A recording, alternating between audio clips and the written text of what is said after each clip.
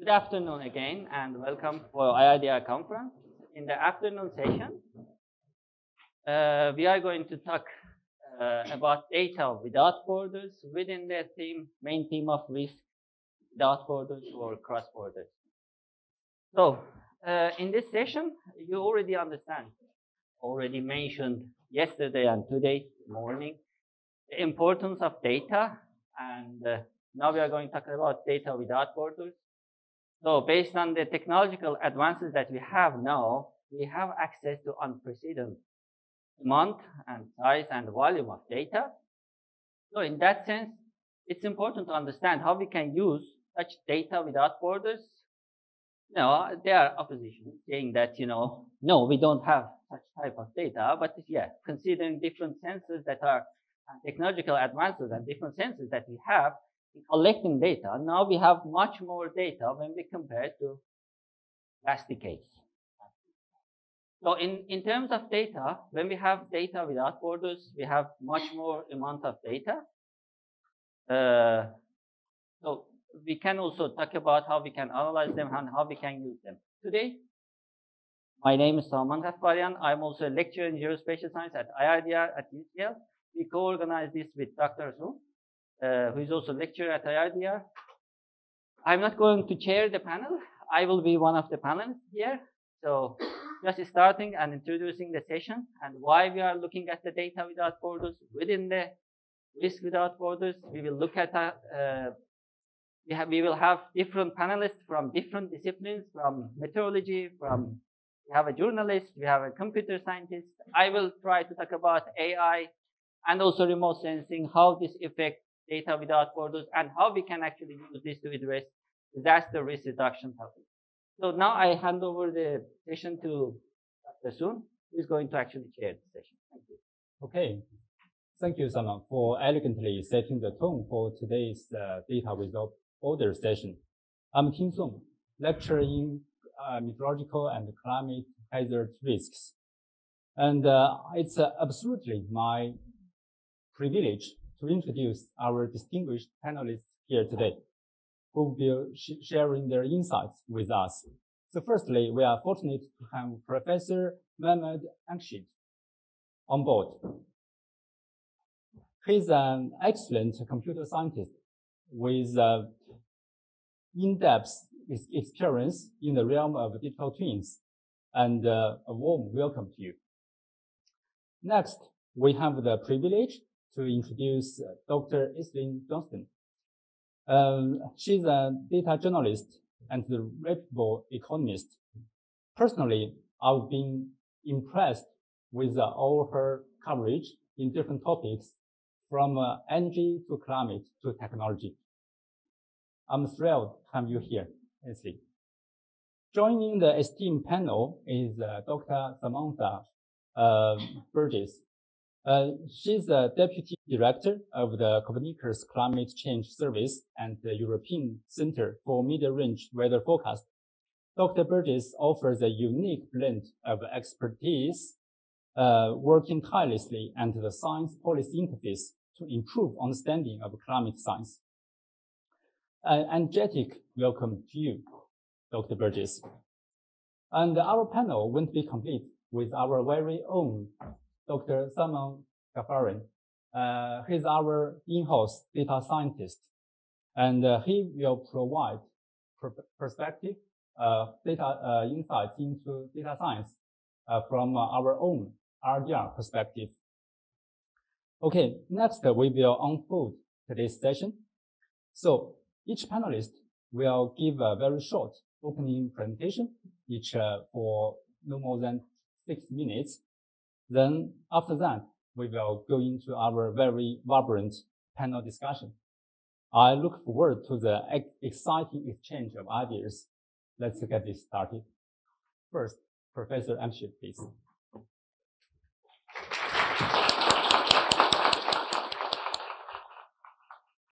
So thank you very much for inviting me. Uh, it is uh, I am computer scientist from University of Twente, but last three years I was in Turkey uh, working on disaster management, and basically um, we are interested in uh, automating disaster management processes.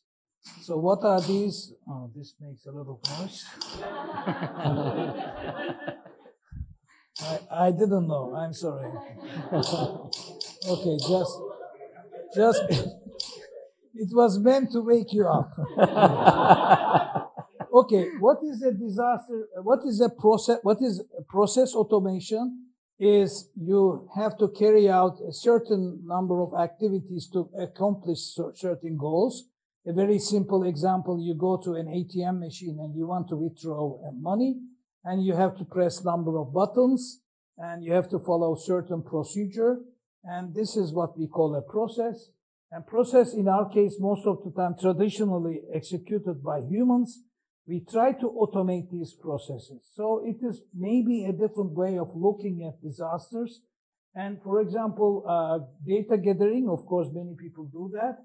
Uh, also simulation is complementary, but we try to also detect what has happened and then starting tasks. For example, task generation for us is to determine the number of uh, uh, teams uh, for firefighters or ambulances, rescue teams, to compute them automatically by uh, the help of machines and to optimize them.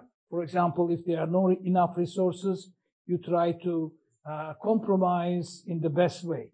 So um, by this way, uh, you can, of course, uh, take over uh, difficult tasks like managing so many things are happening when a large disaster occurs.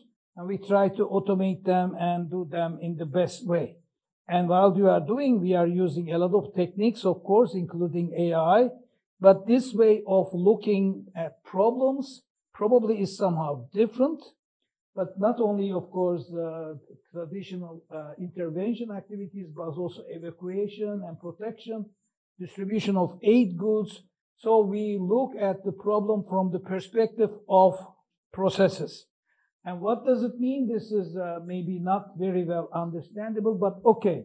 So we have a platform to support this. Platform should support is a model of the environment. It's a, what we call digital twin but we have a lot of event buffers. That means you have to detect certain events that are happening, and then you start, for example, uh, the, the, the related task accordingly. So the tasks are started automatically when certain events occur.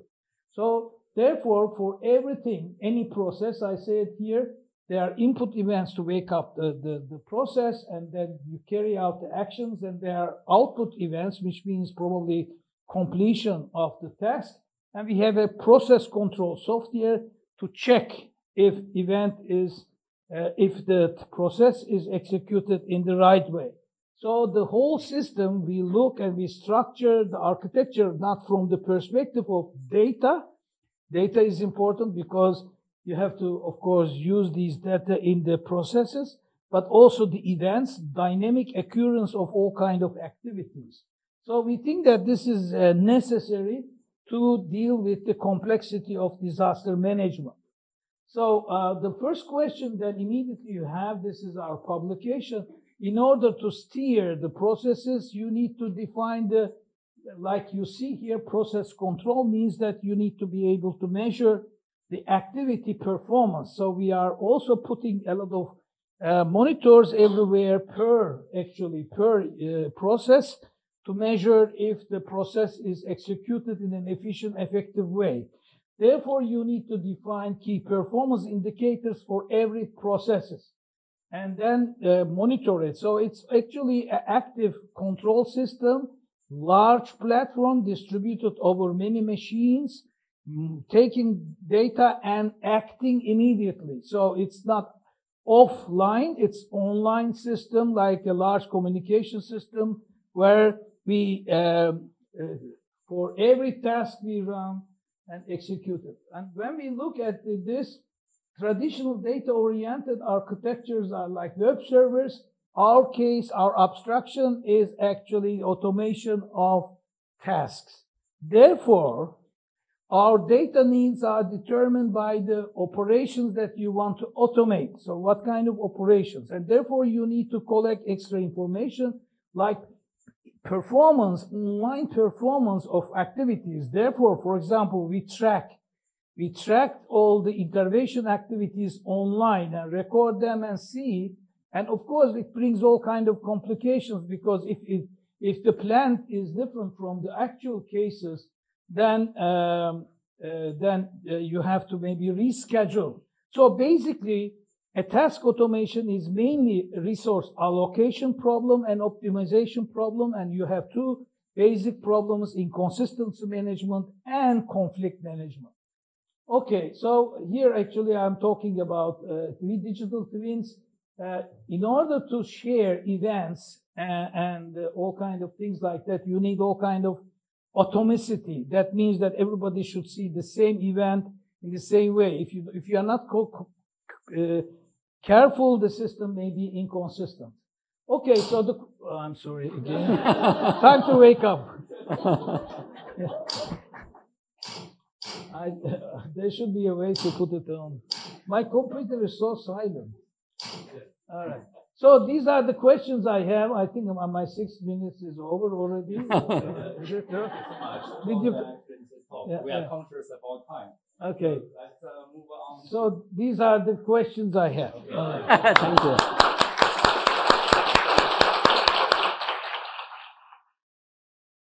Hi everyone, my name is Ainslie Johnstone and I'm a data journalist at The Economist magazine. And today I'm going to talk about how uh, we at The Economist, uh, some sort of rules of thumb or um, principles that we use when we're communicating insights from data. So every week, uh, our team produces a page for the magazine. Normally it's on the second to last page. Uh, it's also online. Um, a story, data-driven story, normally based on the news or on a topic that people are interested in um, at the moment. And we're effectively just trying to tell a story uh, with data, which I'm sure is something that a lot of you have experience with, with talking about your papers um, in public. Uh, so I'm going to talk about um, some sort of rules that we use uh, when we're doing that, sort of focusing on this one uh, project that I worked on back in February uh, in collaboration with an academic at UCL uh, called Ollie Ballinger, which is this middle uh, project here, looking at damage after the earthquake in Turkey. So in this project, we were using uh, satellite remote sensing uh, to detect damage to buildings in Turkey. And we're specifically interested in looking at whether buildings in sort of poorer parts of town and poorer neighborhoods that may have um, less uh, sort of building regulations uh, were more impacted by the earthquake. So yeah, the principles I'm just going to talk about, just to give a little overview, are getting people's attention, keeping it simple, and giving people context. So whenever you're telling a story, I always think about it as if you're trying to compete for the attention of this person, listener, or reader against every other million possible things that this person could be paying attention to. And in that sense, I think often data journalism can have a bit of a, or data stories can have a bit of an edge over regular stories in that you can make completely unique images that tell your story in a captivating and beautiful way. So in this case, we had, uh, we sort of led the story with this big map here. Um, it sort of had two roles. It kind of orientates people to, to sort of what the story is going to be about. You can see a little map here of, of where we are um, in the world. Um, it's visually interesting and it has a lot of, you know, details on it that people can get lost on, but just from looking at it alone, um, it sort of draws people in. So we spend a lot of time thinking about how to make good maps and charts, how to make them useful and how to make them interesting to people. Uh, the next thing we do to try and really grab people's attention is to immediately tell them what they're going to be taking away from reading this story. So what is the one takeaway point that they're going to leave the story for sure with. Uh, we often put it in the title. So in this case, it was that poor areas suffered three and a half times more damage in Turkey's earthquake. And we often try and see if we can show this in a chart. So that's, you know, can really help people to sort of see that this message that we're communicating to them, they can actually see it for themselves in the data. So here we have just this simple line chart, a simple scatter uh, diagram where you can see that uh, areas that suffered more damage tended to be cheaper, uh, cheaper real estate per meter square. The other thing is about keeping people's attention. Typically, when we're writing stories, we get the important information in first and then gradually add more detail as we go through. So in academia, I think often uh, caveats come in up top, but in journalism, we, we normally keep them to the end. We find that they kind of lose people. People sort of lose interest if they, they see all of these um, sort of modifiers.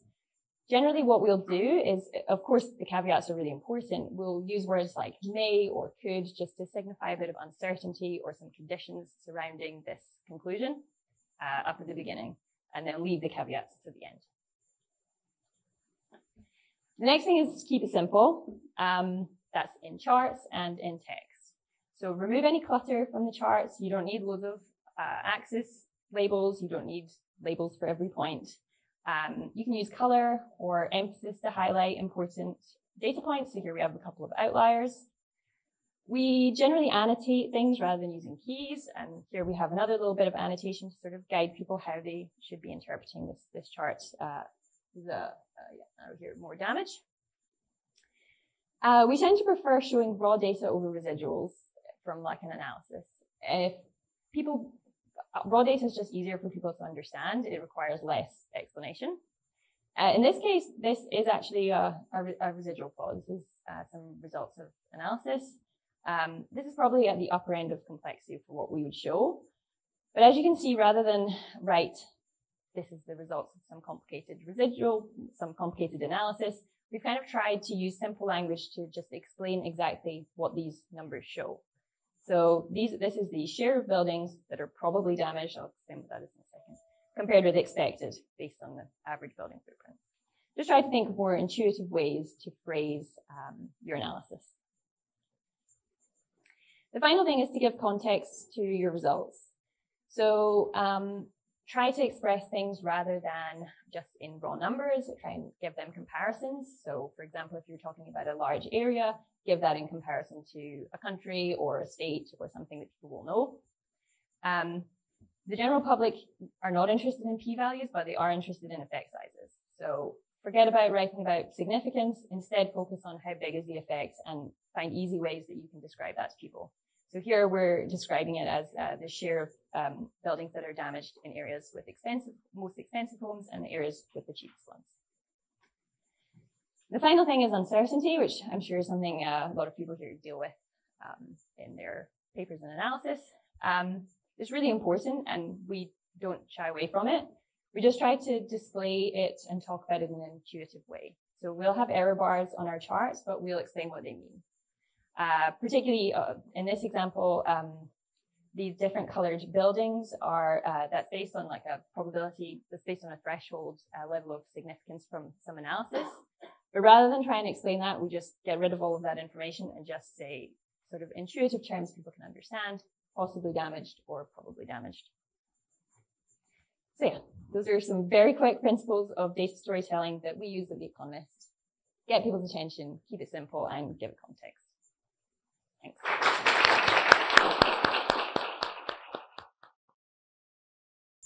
Okay, thank you so much for the invitation to speak here today. Who in this room uses climate data in their daily lives or in their research? Okay, good, good handful. And who's heard of the Copernicus Climate Change Service? Oh, this is great. All right. Well, I don't need to speak then. Fantastic. Anyway, so I love what I do and I'm very excited about what I do. So hopefully I can express some of this enthusiasm in this talk. So on the left here, you have uh, one of the most famous Im- images of our planet. So it's the NASA Apollo 17 image taken in 1972. On the right is the recreation of that with ECMWF's ERA 5 reanalysis. So right now, our, as, as Saman mentioned in his introduction, our planet is more observed than it has ever been before. What this means is with numerical weather prediction and data assimilation, we can recreate what those astronauts saw 50 years ago. And that is cool.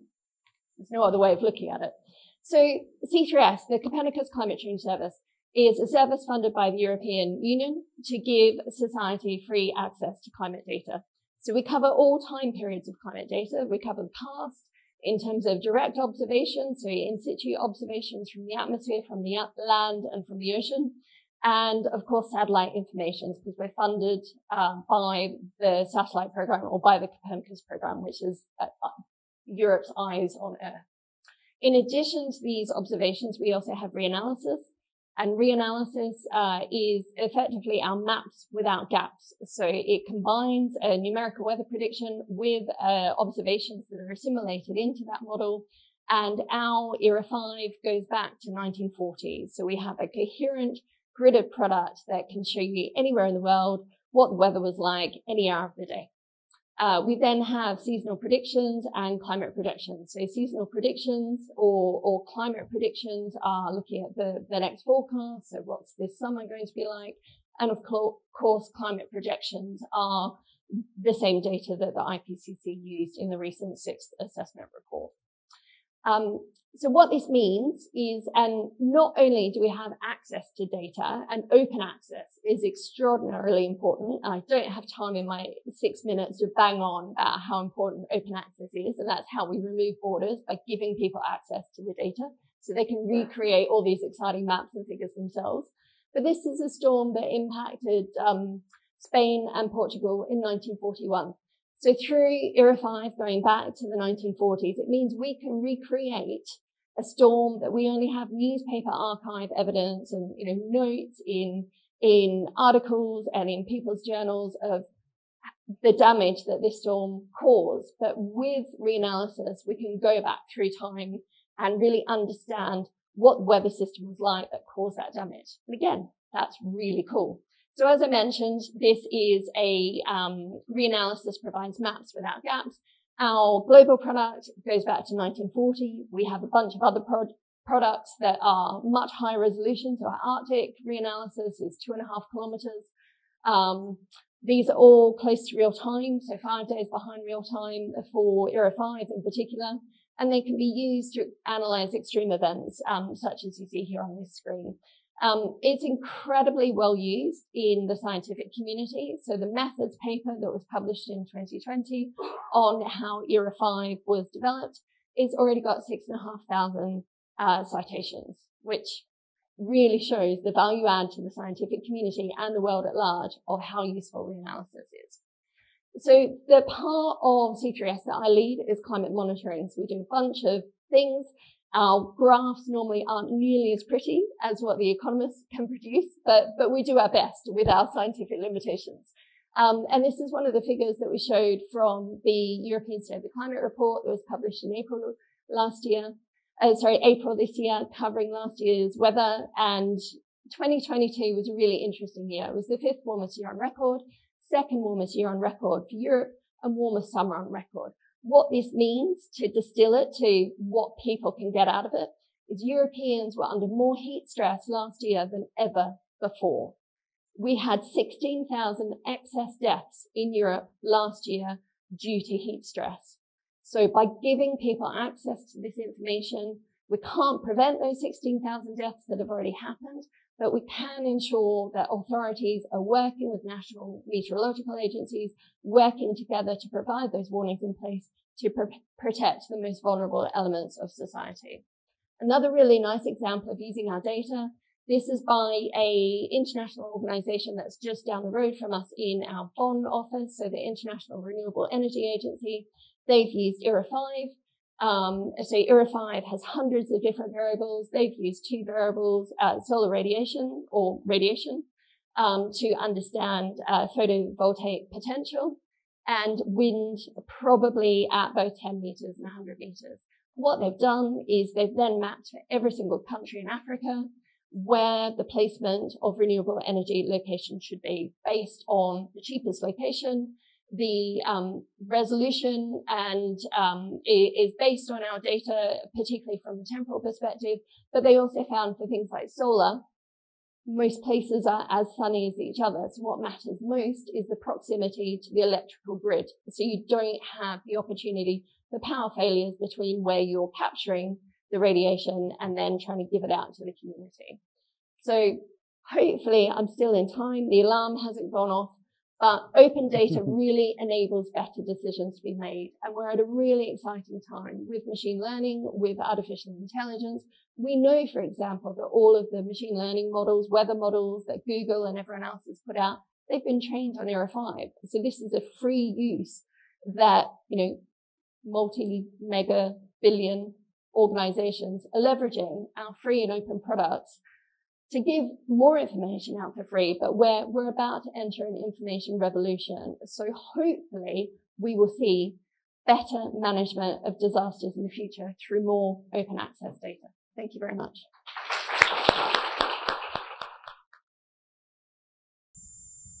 Okay, uh, I will try to um, talk about this relationship in six minutes. say how AI loves data without borders. I only give one example from disaster recovery assessment. I used AI and machine learning uh, for disaster recovery assessment. So just to start with a very basic explanation of what is AI, machine learning, and how they differ. You may already know, but to clarify this, AI is a broad concept but machine learning is a branch of a branch of AI.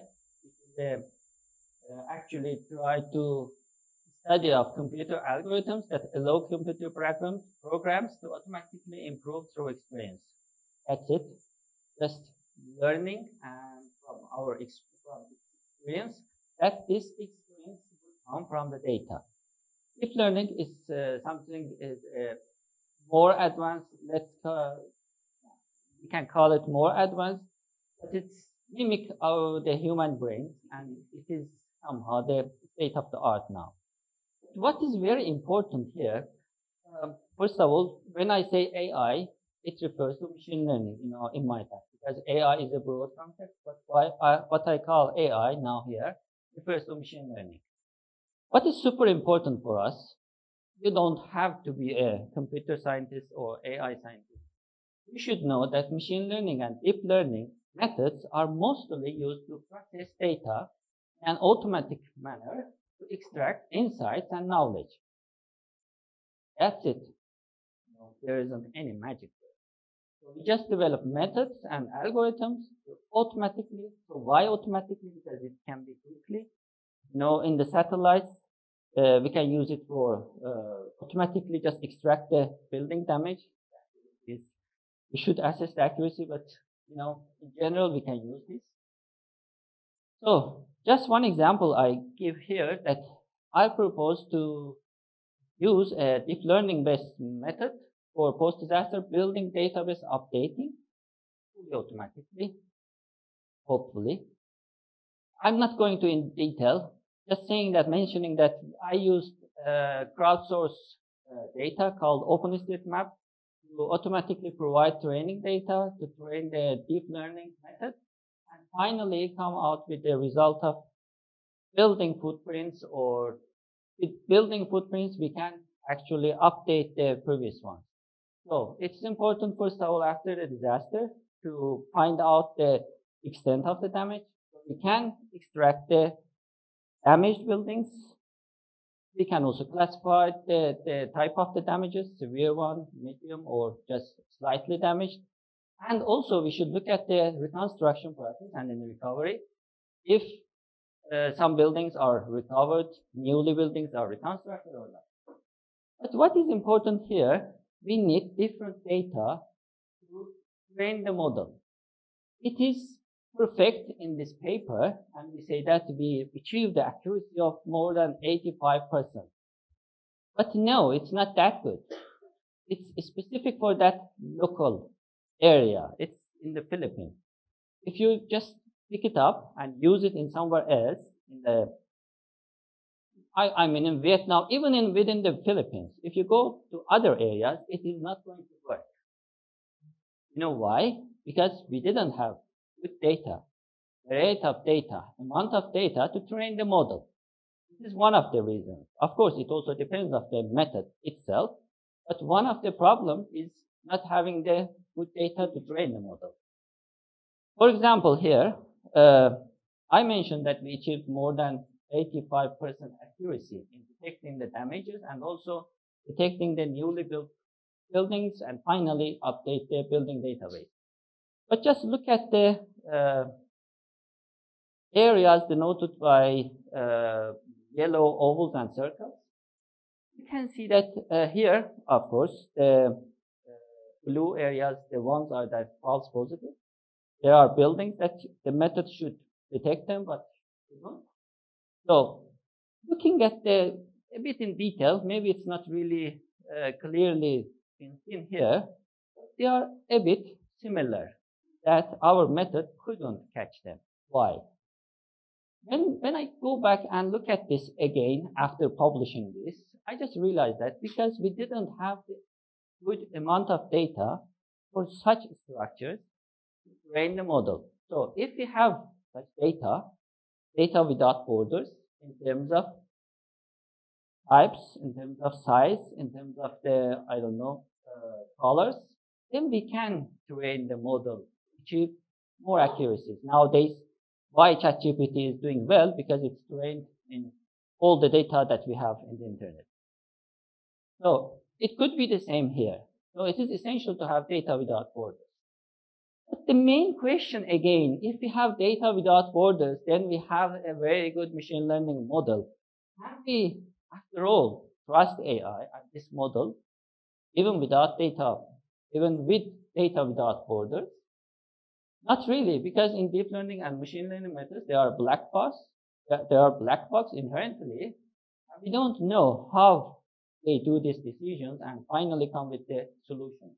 But nowadays, with explainable AI, we are trying to address these issues. That's it. Thank you very much.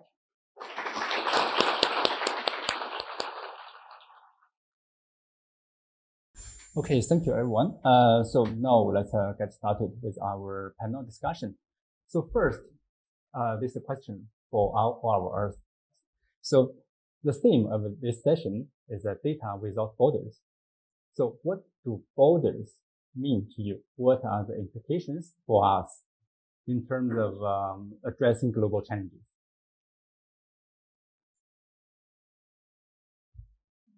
Yeah, if if I start, um, for me, borders mean barriers. Um, so it's barriers to to understand and and leverage the the information available. Um, because I, I'm not dealing directly with disaster risk reduction. It is not about physical borders, but but I guess unphysical barriers. Yeah, I guess. Um, I mean, I'm not always working on projects related to disasters. But um, yeah, for me, again, it, it, it's it's barriers. It's often uh, barriers to make my work more difficult. Um, a lot of what we're doing in data journalism is very responsive. Um, we're covering topics that people that are in the news, and we, we really need to cover them quickly because that's you know when they're interesting and when um, when people want to, to read about them. Um, and yeah, it, borders in data are, are constant problem for me. I mean, trying to merge data sets with from data across different countries together, from data through time that has perhaps different methodologies. It's um yeah, it's just it's challenges for me. Okay, so what I think borders are three kinds. One is uh, physical borders because you don't have access, and we see a lot in commercial organizations. They, they are very protective and this is what I would call physical borders. Other kind of border maybe uh, because we don't have really agreement or standardization, and therefore it is somehow difficult to access. So there are borders due to uh, non non standardization, let's say. And the third one is probably borders without because of ignorance, let's say. Uh, for example, in the process automation approach, we realize that many data are not kept because there are very few process automation uh, approaches defined. So therefore, many data are not collected because we don't know really what kind of data we should collect always. especially if you have a new system, you want to have a, a new kind of information that may not be available. So according to me, three kind, physical, non-standardization and lack of ignorance, you could call it maybe, but because of technological progresses, we may not always know what kind of data we need tomorrow, let's say.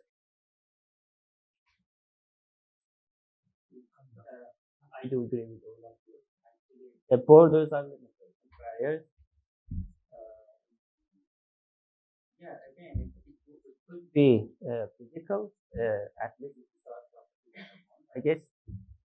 Uh, I'm going to also challenging if we are in favor of data without borders or not. Uh, we uh, need to actually have borders or it's not good to have borders. You know, uh, I can give an example of uh, fake data. You know, now AI produce deep fakes. And now they entered, producing deep maps. I'm pretty sure they're going now to produce deep fake maps for disaster. So do we need actually borders or we should just completely, or I don't know, uh, look at this data without borders and challenge this or address this problem from other perspective rather than uh, providing some limitations to them. Thanks for all these excellent ideas and your understanding of uh, data and borders. Next, uh, we will go into a more specific topic, digital twins. That's a term that has been brought up again and again these days, especially in uh, some talk. We also talked about this uh, digital twin of our Earth for us to better understand today's climate. So, how can we use digital twins to break the barriers and improve our understanding of our world? So I think first and foremost, um, one of the misconceptions that I come across is that the the digital twin will replicate reality, and there will still be uncertainty. There will still be bias corrections that need to occur. There will still need to be documentation of what's been done to understand whether you can trust it or not. So I think digital twins enable us to get a higher resolution than we've ever had before. And this is due to, to machine learning and deep learning. But we still need to understand how they add data. They, they add petabytes of uh, information, well, of data, but how do you transition that data into information that's useful for society? And I think and this is where where I see it quite a lot is this distillation of turning data. You know, if, if you download the the ERA five data set, and I, I've lost track of the number of conversations I've had with with journalists in particular, but with um, you know policymakers, whoever, and we've said our our data is freely available for you to download, and they they don't have the data literacy to be able to do anything with it. So that's where a lot of the work that we do um, and I, I challenge Saman's point actually. For me, it's about trust. You have to trust the source of the data. So for us, for C3S, we're funded by the European Union. So we feel we're an authoritative voice of climate data. And I think as educated individuals, you need to trust where you're getting your data and information from and ensure that it's a reliable, reputable source and that you understand how they've treated the data and that you can recreate it yourself. So I think digital twins will be a game changer, particularly on this topic. But I think we also need to build that trust in, in the outputs of those digital twins to verify that they're better and providing better and more information than what we have right now. Yeah, that's that's really interesting. Um, I mean, digital twins are not something I really ever work with, but uh, well, I mean, I suppose in working with sort of the data from uh, ERA five data, I suppose I am. But uh, I think what I would say to that from a sort of journalistic point of view is um, I think that there can be skepticism sometimes from people about, um, you know, like modeling results or sort of uh, simulations. And uh, I think that there's obviously, I mean, there's so much that, that these models can add uh, to, to our knowledge. And I think it's just very important for people to um, understand sort of how they work, understand their limitations, um, and for that to be explained in a way that is not intimidating and not going to just put people off and, and make them uh, disinterested. Um, and yeah, and, and another thing actually was, was Saman was talking about, I suppose this sort of links into, you know, um, data and data that is produced this, you know, um, like you're saying, these sort of deep fake types of information. Um, I think another, uh, I think a, a, sort of growing role for the media, and as seeing it a lot, particularly through the Ukraine war, is doing, um, you know, having people on the team who are real specialists in in this kind of uh, information, and people who can go through and bring together, you know, say, uh, I'm thinking, for example, about uh, you know fake or videos that um, online of destruction or bodies on the streets in parts of Ukraine, and um, a lot of journalists are using now satellite data from independent sources, sort of bringing together you know data from um, from say uh, open sources, but also data from companies like Maxar and Planet to to try and um, sort of match this up with other sources of information to try and um, you know see whether they they fit and try and verify this information. So I think that I think that it's a concern, of course, um, but I think that people will always have ways to, uh, you know, just through multiple sort of points of triangulation, verify whether information is is is, um, is fake or real. Okay, so I think digital if you focus on digital twin, the digital twin is very important uh, set to, to, to remove the borders. So we, we have a basis then we have a digital twin, but we need to have a, a measure of accuracy and preciseness. So the, the data, uh, so it's also a ma- mathematical problem or sorry, we need a, a digital twin is essential, but we, we need to have uh, measure on preciseness and accuracy, and this will give us a trust somehow. So this will give us a trust. But uh, digital twin means also modeling. So modeling means also uh, definition of standards and the syntax and semantics. So therefore, we have to also agree on all these. And if we have models, models must be multifaceted. So you cannot have one single model for everything. So it means multiple views. So you have to define different views on the model. And uh, of course, if you have multiple views, then you need to have consistency among the views. So it's like in every uh, scientific progress we have is modeling has these challenges. But also uh, in my ex- experience, uh, we need also uh, some, if we talk about multifaceted modeling, uh, then we need also dynamic information, changing information, online information. Uh, so digital twin is not easy to design as we hope, but it is the right way. And uh, like in any science, uh, I think we should progress on that direction to remove the borders.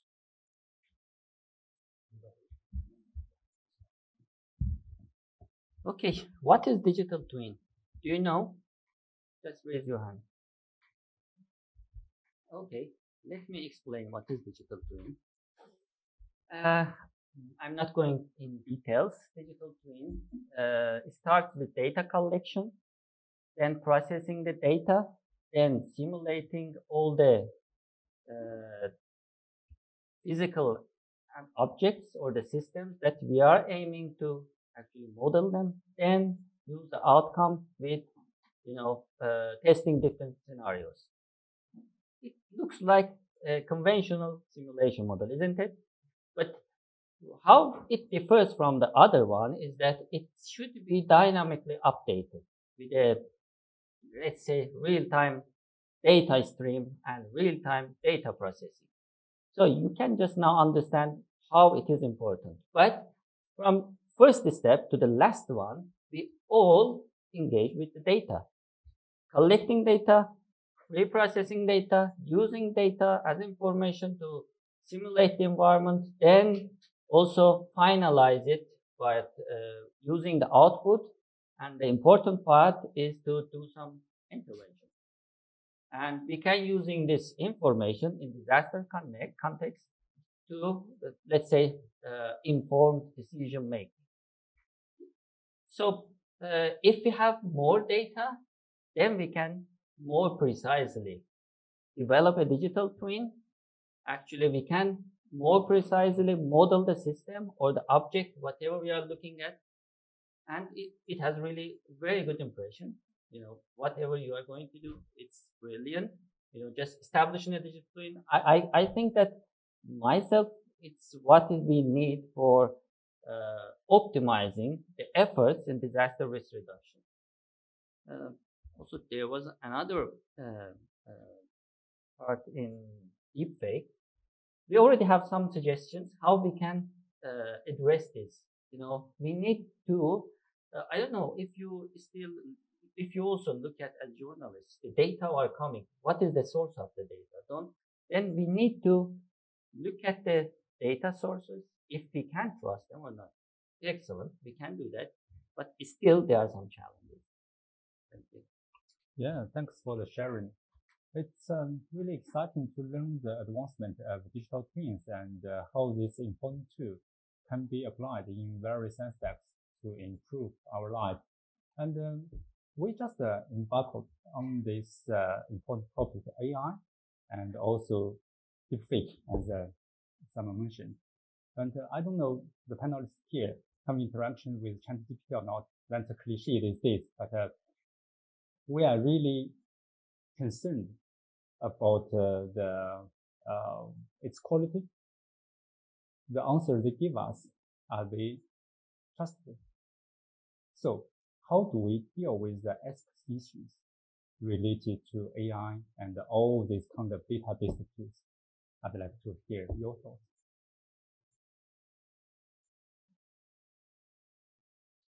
Right. Okay. So in our case, research, um, AI we use uh, not as a big monolithic block, but uh, wherever there are problems of uncertainty. So AI, as you as you also formulated, is a continuous. In our case, it's continuously active. It's continuously learning, continuously improve. So on all uh, decisions you make, where uh, there is uncertainty, we build uh, learning systems, and it can be deep learning or it can be as simple as statistical learning, depending on the problem. We use these to remove uncertainty. So, for example, very good that you summarize digital uh, twin. Digital twin is a reference model we have, and there we try to gather information, interpret, and understand but also we use digital twin to track online activities like intervention. And there are many cases where we cannot precisely determine the parameters, where we apply AI techniques to learn. And for us, it is more like problem solving way of reducing uncertainty. But if you, I think my opinion is that if you don't know what you want to do, AI cannot help you. So in our case, it is for reducing uncertainty in uh, digital twins, you may call it. Um,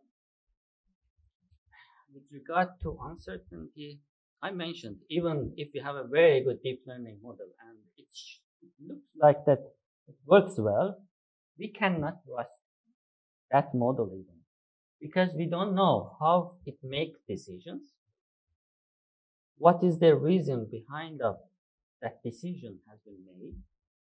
And what are the characteristics what are the properties what are the indicators that it used to make this decision? Okay nowadays there are plenty of publications researchers that's doing their research and say that okay we developed a new deep learning model. In this case study uh, we can detect the building damages with more you know above 90% accuracy I challenge them if they can, you know, prove that their model will work in other locations as well or in other, you know, type of disaster. For example, if you train your model to detect the damages to buildings uh, in an earthquake scenario, it will not work most probably for the typhoon case study. So there are so many uncertainties. Even within digital twin, we need to use machine learning because we need to process the data very quickly because we call it a, real-time modeling. For real-time modeling, we should do all the processes very quickly and have the automation in processing. So we need machine learning models to quickly process the data for a large scale study area. So we definitely need them, but we need to tackle them. And recently, more works are coming up for in explainable AI, how we can explain how that model just made decision. Or we can, um, we may also develop methods inherently can be explained, you know, based on the uh, algorithms that we can provide. Yeah. Um, yeah, that's that's very interesting. Um, AI is something that we uh, use sort of in a few different ways. Um, just generally, I think it's very useful for coding, uh, particularly regex functions. I don't know if anyone ever uses them. They're a nightmare. Uh, ChatGPT can just tell you exactly what to do. um, but yeah, we, we also use AI sometimes. Um, I mean, this is maybe very relevant to, to the topic of the, um, topic of the panel, uh, to, you know, to, to fill in data that we don't know, um, we don't know what, what the data point is there. So one a big example that uh, our team has been working on for, for a long time um, is uh, sort of quite unrelated to, to sort of natural disasters, but um, still disasters, uh, is a model to predict the excess deaths um, from COVID 19. So there, um, countries throughout the pandemic were publishing death figures um, but really, what is important is is the excess deaths. So not just the deaths that were attributed to COVID, where people had had a test, but deaths that were far higher than normal, um, and that were probably directly or indirectly related to to COVID. Um, and countries were publishing these excess death figures, but you know mainly um, sometimes by a, a, yearly basis. Some countries um, weren't publishing them at all. Uh, so a few members of our team built a, uh, a machine learning model to take the known data that we had uh, from countries that were publishing excess death figures regularly and trying to train it. It was a complete black, black box. It is a complete black box, but um, feeding it in information about cases and um, you know environmental conditions, basically anything and everything, and using it to predict for the places that did not have data for how many deaths we might have expected in, in those places. And um, we used it to, to get an estimate of the true death toll of the pandemic. And I think in those sorts of cases, of course, um, you know, this is a very, very specific problem. And um, I can I can completely understand what you, what you're saying that you know having it as a black box in some ways it's quite limiting. I mean, with that we don't really know what it is, what are the exact parameters that are driving these predictions. Um, but there's no other way to, to get predictions of, of this. I mean, without throwing in a lot of our assumptions about uh, what are the, the factors driving excess deaths. And I think, um, yeah, to, to me, that's that really adds a lot of value. If I may add something, so uh, deep, deep learning is typical, of course, it's more black box. In our case, we have small AIs, let's say machine learning algorithms, uh, when there is a control parameter that you cannot determine. So uh, what we do in the feedback in the loop. So, uh, for example, you say is the parameter 0.5 or 0.6, then uh, we try to uh, when we adjust it to 0.5 to 6, and then we apply it in the real control case then we measure immediately parameters if there is improvement. So in the feedback in the loop, sometimes very simple machine learning, by the way, not no need to be complicated. Then we try to get uh, with feedback if the indeed newly learned parameters are uh, better. But of course, if you have a large image and you do deep learning and these kind of processes, it's not applicable, this kind of control schemes. But if you are, for example, directing uh, ambulances, firefighters, and so on, and then you apply certain strategy to bring them to where you need. And there you may have small adjustment by AI. So AI, machine learning is of course include many different kinds. In our case, in feedback control mechanisms, you may have a measure of the success. But of course, many times you try these things also in simulations to see if you can improve. Uh, so, uh, but it doesn't work for large, big images, as you pointed out. So there may be techniques where you can use AI in smaller scales to optimize the online going processes. So I'm sorry about the chipping in here. I'd like to challenge you a bit Okay. from uh, the perspective and the physical climate modeler. Mhm. So we know like these days, especially in the past several months, we've been seeing bunch of uh, deep learning based uh, Yep. numerical prediction models. They all claim to outperform the ones in your agency, ECMWF. They do claim that. Yes. So, which made me very worrying. Will I lose my job? What's the answer from ECMWF? So I well, I can't answer for your direct circumstances because I'm not as familiar with your research as perhaps I could be.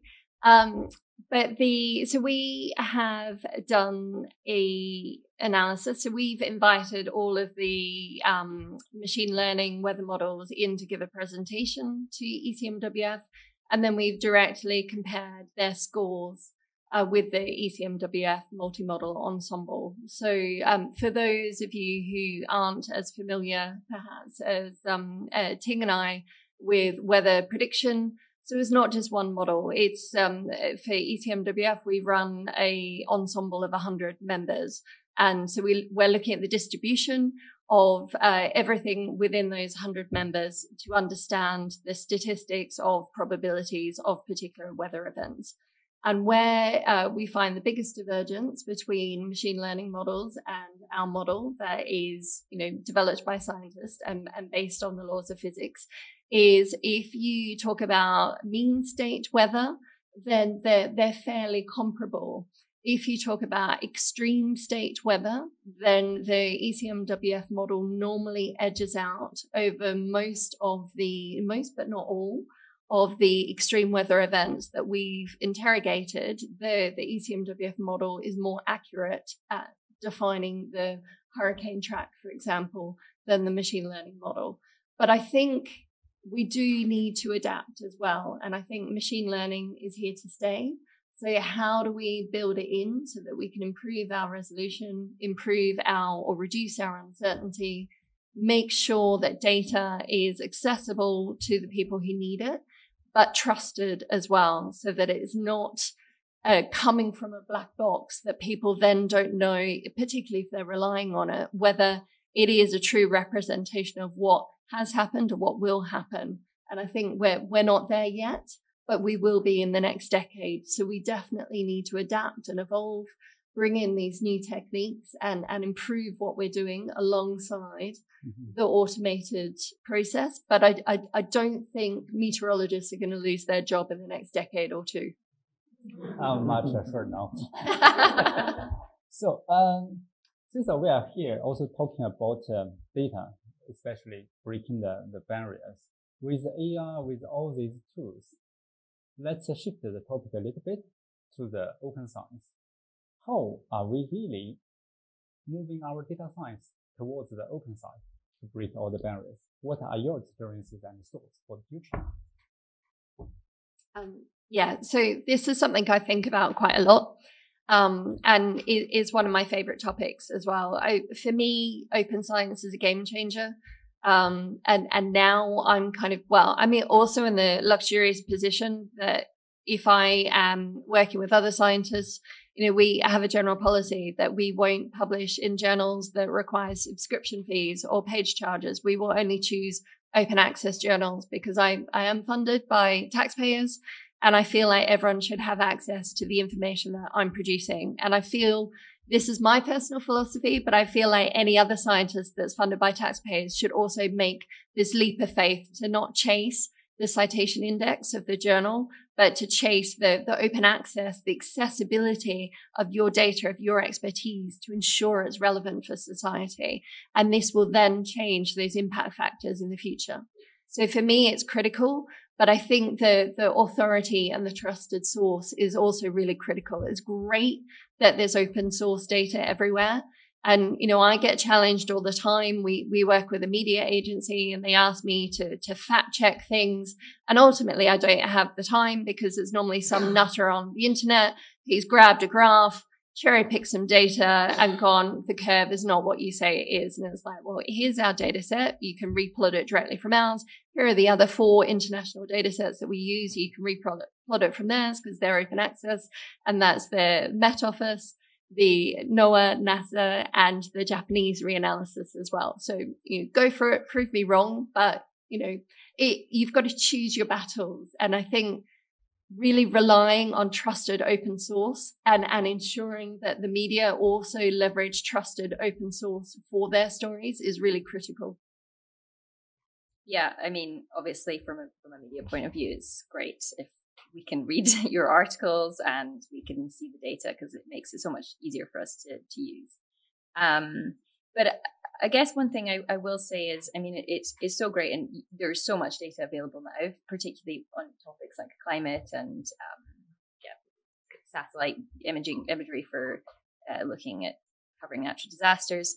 Um, but I, I there is definitely, and I don't think this is the fault of open science, and, and I don't really know how you get around this. There's there's huge biases in what data is available. So you know, a natural disaster in Europe is infinitely easier to cover than a natural disaster in Africa. Um, obviously, you know, satellites go over the whole world, but um, b- basic things like you're talking about OpenStreetMap. OpenStreetMap, um, you know, if we're wanting to look at, say, mapping damage to, to buildings, um, the first place that the first story we ever did, which was sort of based on on some of that work, was in Ukraine, and there was great coverage from OpenStreetMap. The next one we did was in Turkey, and it was far poorer. Um, and you know, there there are parts of the world where you just can't get good data, and um, often the places that do supply data uh, are not government bodies. It's not coming from EU grants. It's private companies that are collecting this data. And, you know, that's the only way that we can get a hold of it. So I think, of course, um, open science is great and amazing, but um, it sort of changes, you know, it, it's then kind of the, the choice of, um, it's the, the funders who are sort of deciding what, what's going to be, what data they're going to provide. Um, it, it, just kind of shifts. It, it's almost a bit like, like with open, open publishing um, you know, rather than it being the libraries or, or individuals who are paying to view the material, it's the scientists themselves who are paying to to have it out there, and it just changes a bit um, who where the sort of motivation is coming from, and um, I think that's probably something that, that just needs to be thought about going forward to to try and make, as we're discussing today, data without borders, where we have coverage. Um, you know, we have data about uh, things we want to know for the whole world.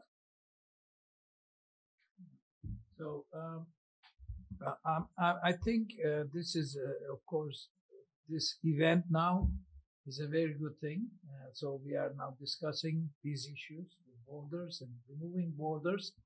I personally, I've been working on it as well. So I'm um, working on um, starting a, some sort of alliance, international alliance and uh, currently, uh, Malaysia uh, is part of it, the University of Malaya. And we have also interacted with the Malaya, Malaysian government. I also um, had interactions with Brazil, uh, also uh, federal uh, government of Sao Paulo, and so they have agreed on starting discussions about setting up the rules and standards and uh, uh, so I hope, of course, I was uh, yesterday in University of Bristol. I talked to scientists there and uh, asked their opinion and help also to participate in uh, the movement which you have started here with this event.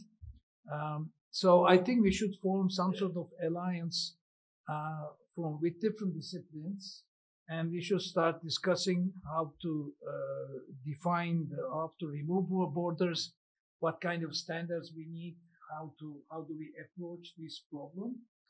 Uh, so uh, I I hope uh, in my from my case I will be very of course extremely happy if I could set up such an organization. Uh, we have already succeeded to some degree. Can, we are also talking with Canada. Uh, I will be going next week to British Telecom, uh, and I will discuss with them also the issue of removing borders.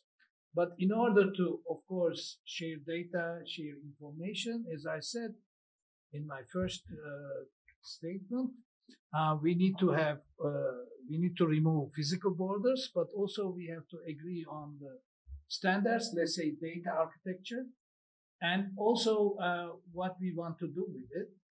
In particular, as I said, I'm interested in process automation, and process automation may demand new kinds of data and very much online uh, data. Uh, so I hope uh, we come all together and form an alliance and make a statement to the world that how world should be and uh, start building on creating the world without borders, data without borders. So I think we really have to organize and somehow formally in some way. So for me, uh, it it uh, let's say study starts with most of the cases with data collection, then data analysis, and the last part that most of the time is missing is sharing information. It's not only about open science or open publication. When we go to the disastrous areas and when we talk to them, collect information, doing some surveys and interviews, we should go back and share the results because they are, they can also use the results. Of course, this is important to also share in open access, uh, also provide the data in open sources, but also going back to people who are not necessarily going to read the papers and share the information, share the results that they can use to improve their resiliency or decrease their vulnerability. But again, I agree with all of them that we should promote, actually we promote this at UCL and IRDR open uh, access publications. Yeah, thank you. Great. Thanks for the sharing about the understanding of uh, open science and uh, open data. Then um, we are really coming to an end about this panel discussion. So I'd like our panelists to use just a few sentences to summarize the data without borders approach in your mind. If you'd like to like summarize your approach in your work and data without, without borders, what is it? That's tough. um, so I think for me, ensuring that society has the ability to leverage data to make better decisions. That that's a fundamental personal philosophy that I believe in. The challenge with that, or the challenges with that, are numerous. Um, one um, was mentioned just before: the the north south divide.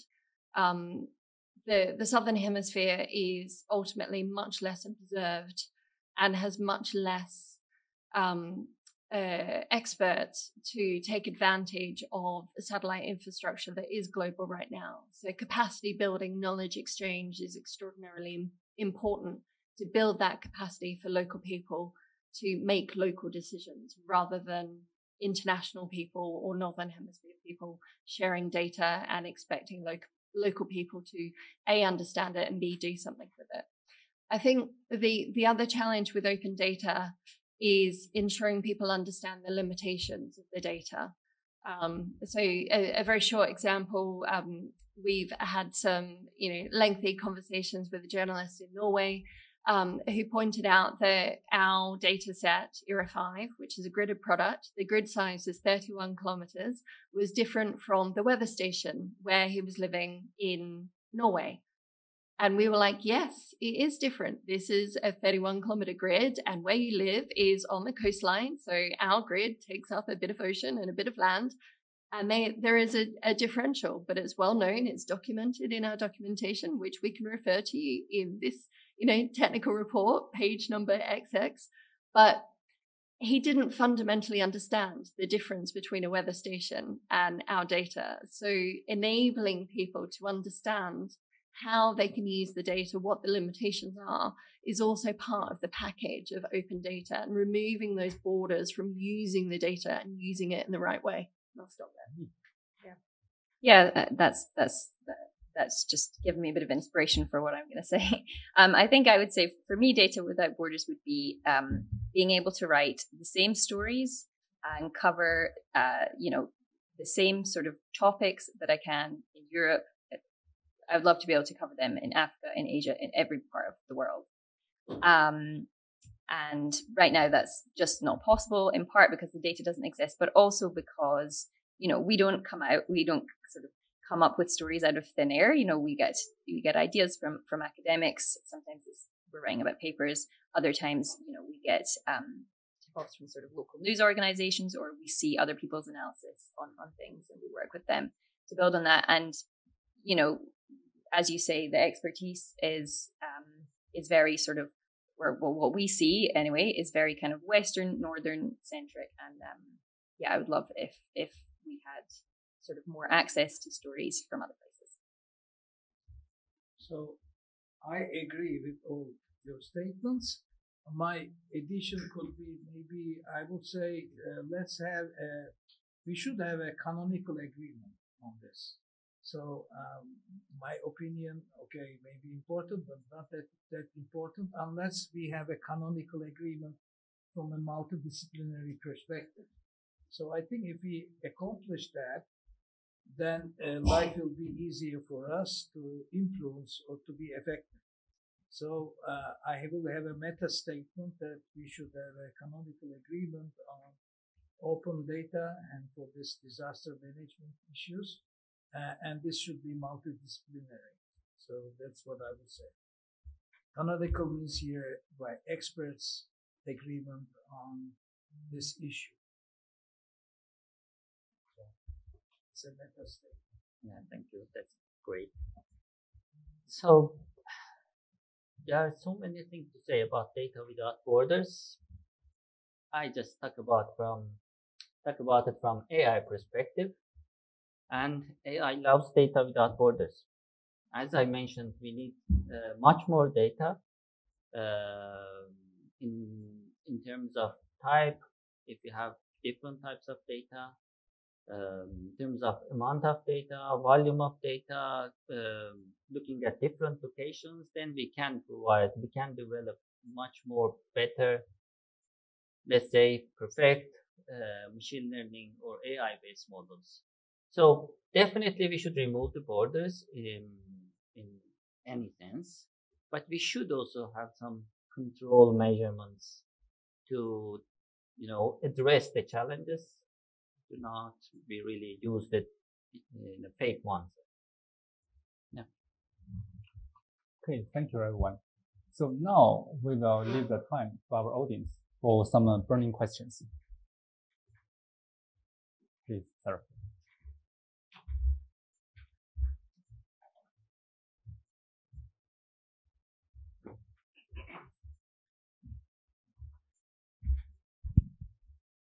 Think it's on. Yeah.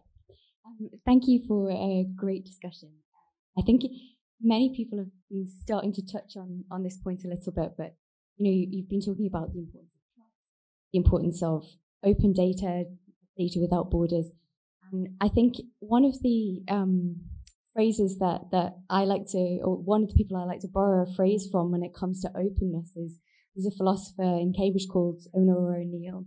And she talks about not the importance of openness, but the importance of intelligent transparency when it comes to openness, which I think touches a little bit on what Saman was saying about not necessarily need for regulation, but the need for you know thinking about some some of the issues that might come with with being fully um, transparent about these things.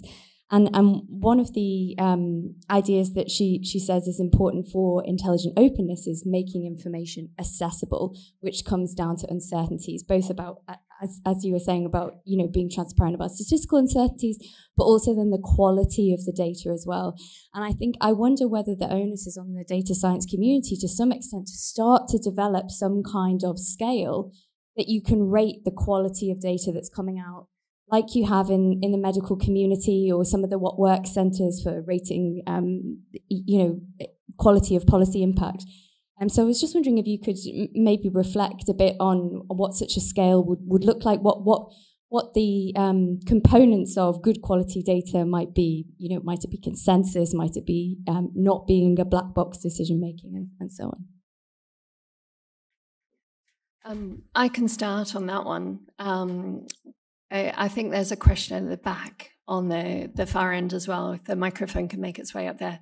Um, so for us, we um, have a, a, and is one of the parts of the program that I lead. So we have an evaluation and quality assurance component to the program to enable users to trust, um, well, to effectively help them to choose a data set and to therefore trust why they're using that data set.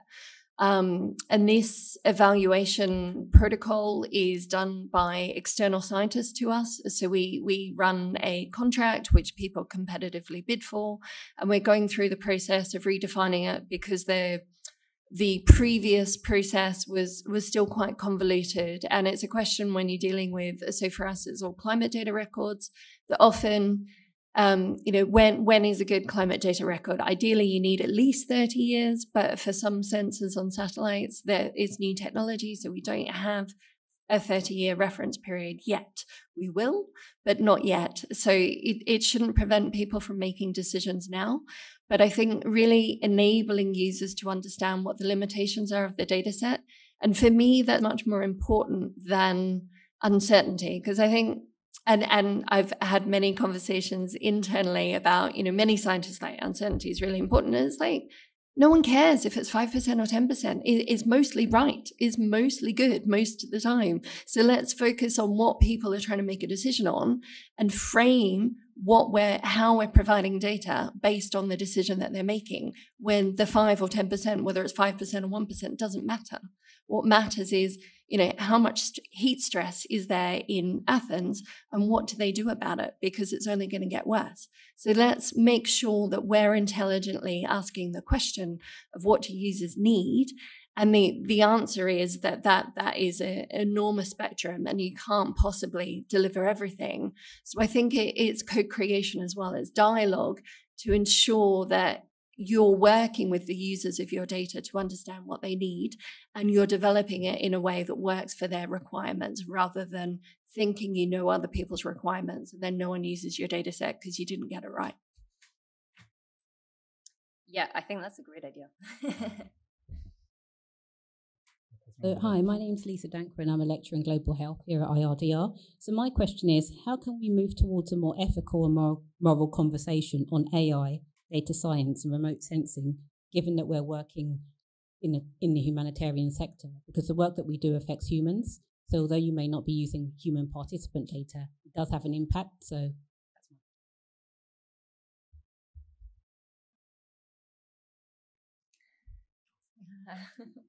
Go for it.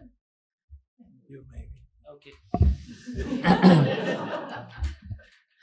yeah, uh, it's actually also about you know, trusting AI included.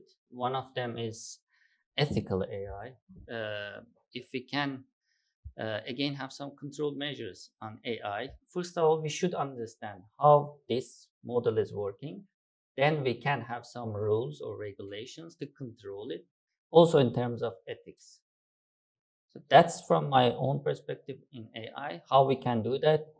Are we doing that? No. Can we do that now? No maybe in the future. Yeah. Shams? Yeah, uh, I'm Shams uh, from IRDR. Fascinating uh, talk and the discussion so far. Shams, Shams. Wait for the mic. Oh. Thanks. Yeah, thank you. Thank you very much for the fascinating talks and the discussion so far. The word I was looking for throughout this session is validation.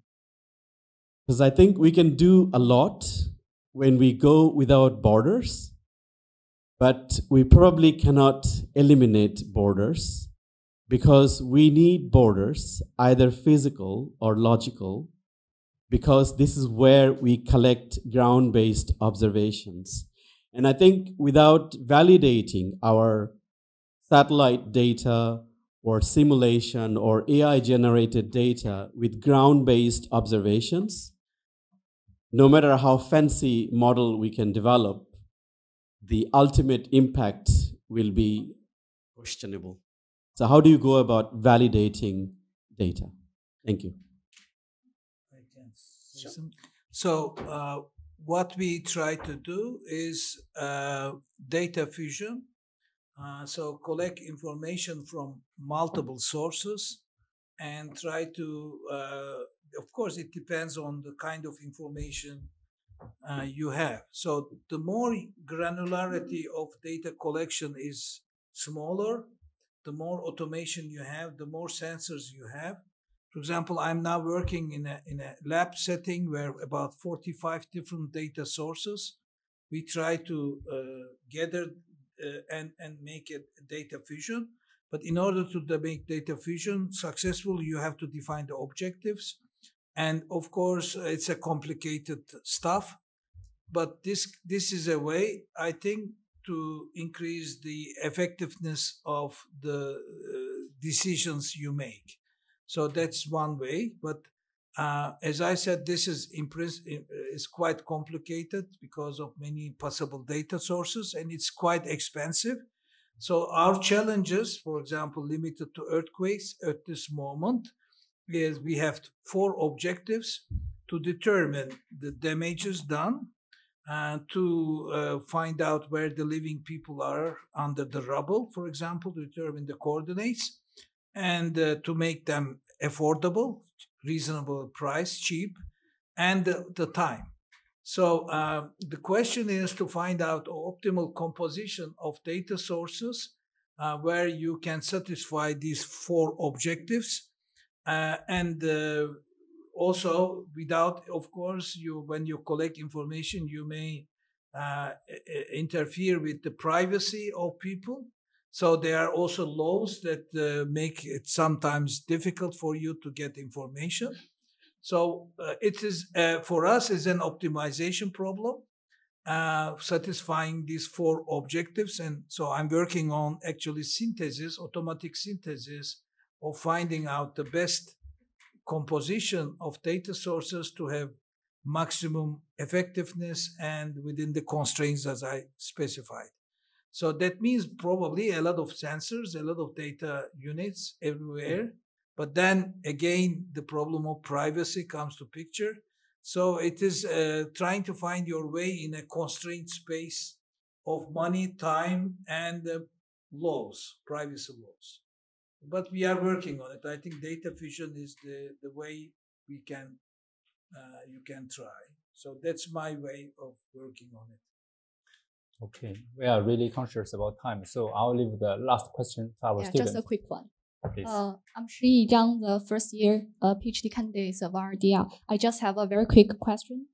Uh, for countries that uh, like uh, strong uh, data transparency, uh, besides collecting and utilizing data from the uh, reputable international organization or third-party research institution, what are other ways to uh, choose uh, trustworthy and correct data?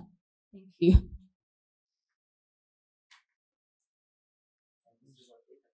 Yeah. All right, I'll, I'll start. So I think um, if they so if they're publishing in open journals, if they're publishing the code that they've used to um, create any graphics or data visualization on GitHub, that gives you the automatic opportunity to, to try and recreate what they've done. And if you can recreate what they've done, and if you can use a complementary data set to prove the same thing, then you, you can probably add that data set to your um, volume of data sets with confidence. And I think um, I would also go with experience. So you're you're in a fantastic institution with a, a, lot of expertise. So also leveraging the expertise of others. Of you know you've got this particular problem wherever you're working in the world. Where have those people found useful data sets and, and leveraging their network as well of you know have they been to that location do they know scientists there speaking directly to people who may be aware of different data sets than, than what we're aware of in the uk is also really important Great, thank you.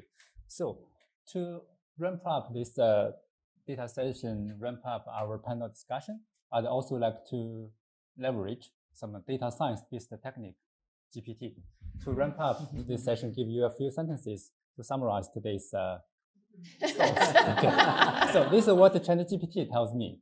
Okay, let me read that aloud. In summary, the panel discussed the implications of data borders in disaster reduction and the limitations they present.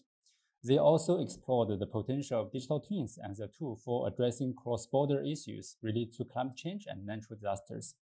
The importance of promoting open science and data sharing policies was highlighted, while also acknowledging the need for rules and standards. The panel also discussed the potential threats posed by AI-generated fake data sets and the importance of collaboration among experts from different fields to create a more cohesive data without borders approach for addressing global issues like climate change. That's it. Okay. Hopefully it uh, gives us some insight